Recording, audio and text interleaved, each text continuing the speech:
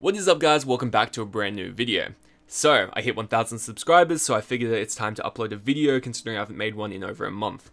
Now, I'm making an Excel video because that's kind of what my life is revolving around right now, so here I am. Today I'm going to be teaching you something that will be extremely helpful if you plan on going into the corporate world, and that is index match. Now a lot of you have probably heard of index match, VLOOKUP, XLOOKUP, any of these, whether it's for meme pages or just uh, you've been using Excel for a while. But when you hear all these names of different alternatives, you may wonder why do we use index match over these other ones?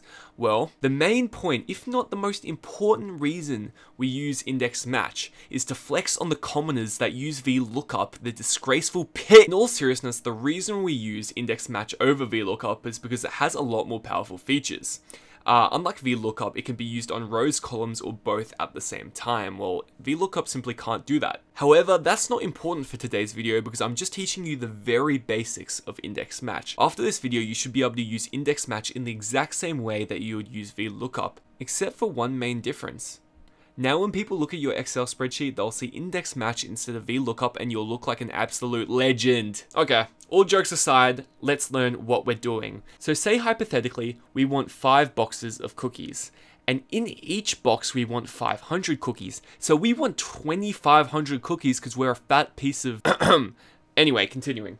If we were to look at this Excel spreadsheet, we could easily be like, oh, okay, 500 cookies, 5 boxes, it's $236.25. Imagine this spreadsheet though, however, was thousands of thousands of rows, and you didn't know, you couldn't line it up because there are so many columns, so many rows, it would have taken forever to go one by one line it. This is really where index match comes in handy, or VLOOKUP, or whatever you're using.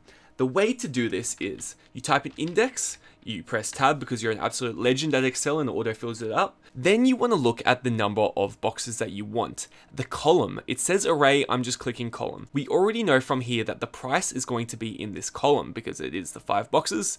We look down, it's there. If we had a lot of data, we wouldn't be able to see where it is, but we can see it here.